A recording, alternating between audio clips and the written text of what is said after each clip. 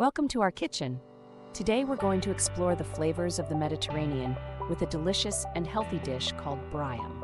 This traditional Greek vegetable bake is a perfect example of how simple ingredients can create an explosion of taste. Let's start by introducing our key ingredients. For briam, we'll need aubergines, potatoes, courgettes, and a mix of fresh herbs and spices. The beauty of this dish lies in its simplicity and the use of fresh, wholesome ingredients. Now let's prepare our vegetables. Slice the aubergines, potatoes, and courgettes into thin, even pieces. The key is to make them uniform so they cook evenly.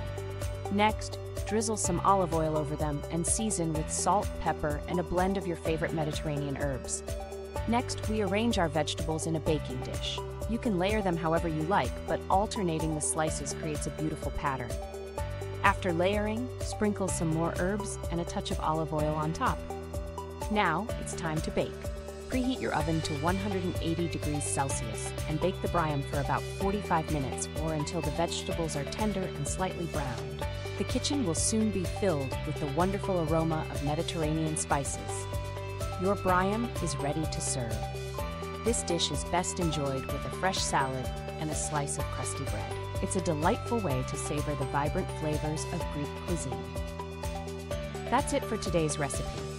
We hope you enjoy making and eating this delicious and nutritious Greek vegetable dish. Don't forget to like, share, and subscribe for more healthy and tasty recipes.